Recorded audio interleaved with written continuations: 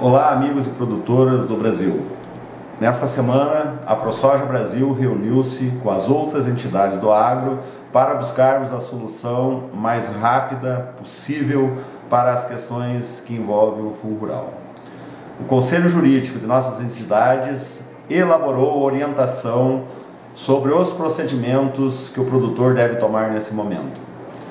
É, desenvolvemos algumas ações. Primeiro, se mobilize-se no seu estado, junto com as suas entidades, para, para mostrar a realidade econômica pela qual passamos nesse momento ao governo do estado, à Assembleia Legislativa e aos parlamentares, senadores e deputados federais, portanto, de cada estado.